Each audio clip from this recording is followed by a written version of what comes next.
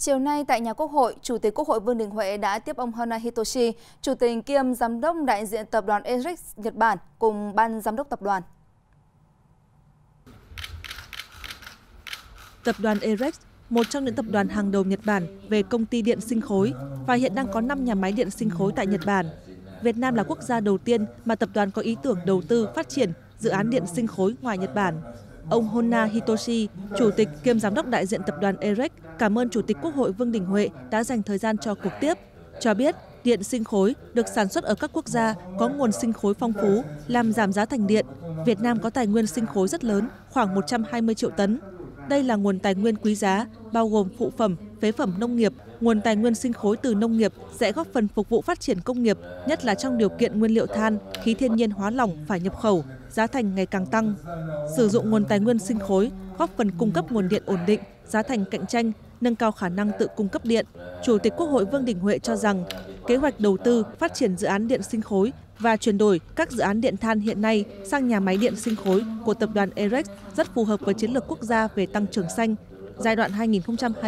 2021-2030, tầm nhìn 2050 của Việt Nam phù hợp với cam kết của Việt Nam tại Hội nghị Thượng đỉnh về biến đổi khí hậu của Liên Hợp Quốc lần thứ 26, COP26. Đúng thời điểm đang triển khai các kế hoạch phát triển kinh tế xã hội theo hướng bền vững, Việt Nam đang trong thời kỳ hoàn thiện quy hoạch điện 8.